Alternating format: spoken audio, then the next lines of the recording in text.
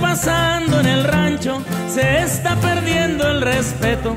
Los pollos desaparecen y al mes aparecen muertos. Qué raro porque la granja la cuida un abuelo y nieto.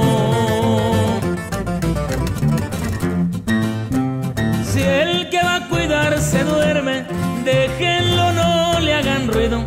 Mucho ayuda el que no estorba, el dicho es muy No más que cierre el hocico para no escuchar sus ronquidos. Y es que en la granja trabaja más el abuelo que el nieto.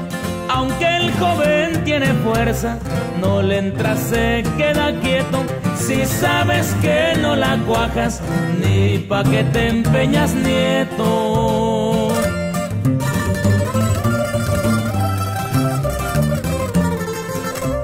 Y qué lástima porque el rancho es bonito, oiga. Lo malo es que en esa granja faltan muchos huevos. Andan perdidos.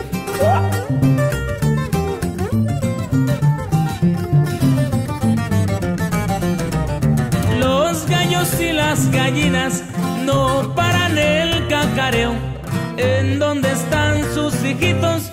Exigen respuesta luego. Nadie aplica justicia, van a pelear por sus huevos.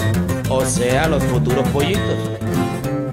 Toda la gente del rancho le está llorando al chavito.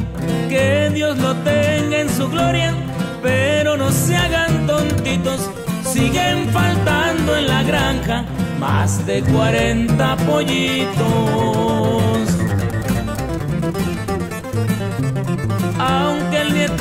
Deje el puesto, no creo que vuelvan las crías, pero eso obliga al abuelo a emplear un mejor vigía. El plebe mejor que vaya a ver gaviotas de día.